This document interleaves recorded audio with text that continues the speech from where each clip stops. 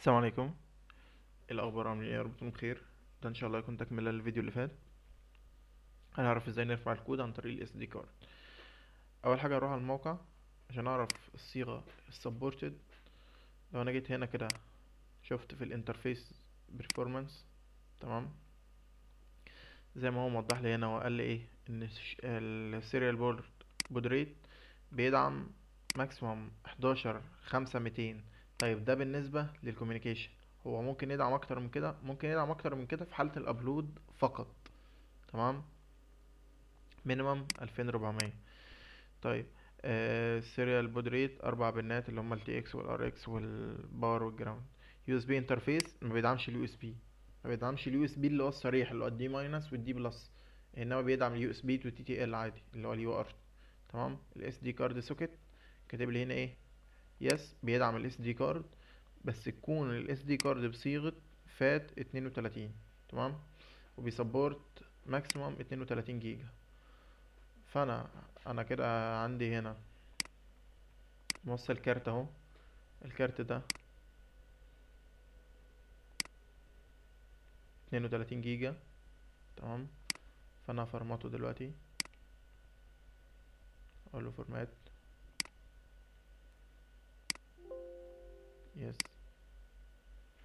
اختار الصيغة هنا اهي الصيغة FAT اتنين وتلاتين. تمام؟ أقول له okay. كده تمام مفيش أي مشكلة. هاجي هنا على البرنامج.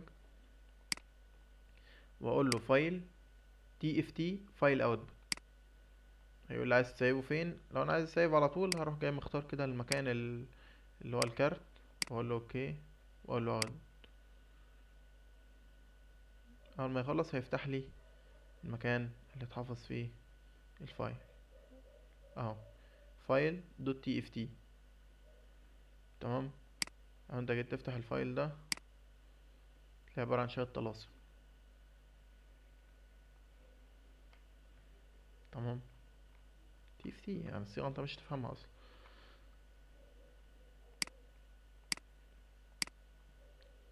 تمام؟ بقى اشيل بقى كده أنا هشيل ال micro USB ده أو ال SD card وآخد ال card ال memory. وزي ما قلنا شفت ال connector ده؟ هتروح توصل ال SD card بتاعك في المكان ده وتفصل ال power وترجعه تاني. هتلاقي الشاشة بتعمل loading وتعد من صفر لحد مية. أول ما يقولك successfully إن هي خلاص عملت burn ال code كامل ومفيش أي مشكلة هتشيل ال SD card وتفصل ال power وترجعه تاني. لو انت فصلت ال power ورجعته تاني وال SD card موجود في الشاشة كل مرة هيقعد يعمل إيه؟ هيعمل تاني upload لل code من أول وجديد. تمام؟ فانت بتحط ال- ال card وتروح جاي فاصل ال power وترجعه يبدأ يعمل upload لل code.